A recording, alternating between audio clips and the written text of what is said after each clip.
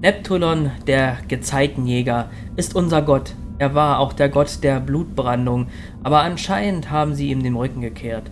Jetzt verkehren sie nur noch Ashara, ihre Naga-Königin. Ihr werdet die Abbilder Asharas überall in ihre Siedlungen sehen, die aus Seestein gemeißelt wurden. Der Moloch-Geist betrachtet eure Waffe. Die Waffe wird reichen, durchbohrt damit die Götze der Aschir. Man muss sie daran erinnern, dass unser Vater Neptulon der einzigste ist, der wirklich die Meere regiert.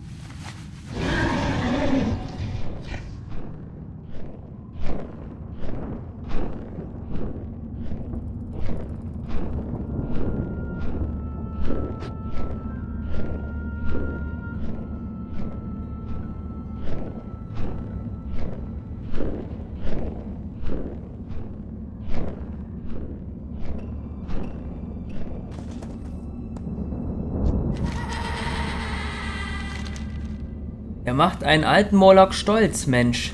Danke und mögen die Wellen immer an euren Füßen plätschern.